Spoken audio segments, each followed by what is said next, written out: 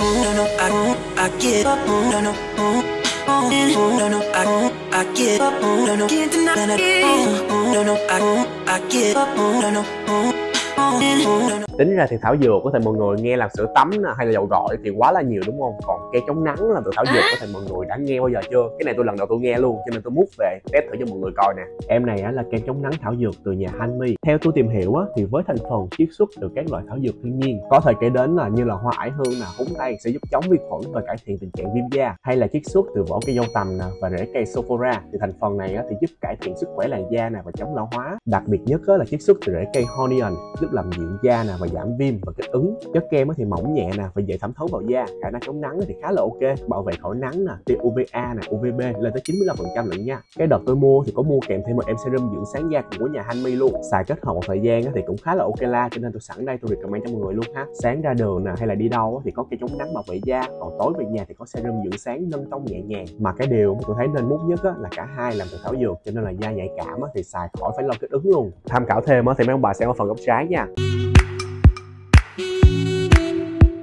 Thank you.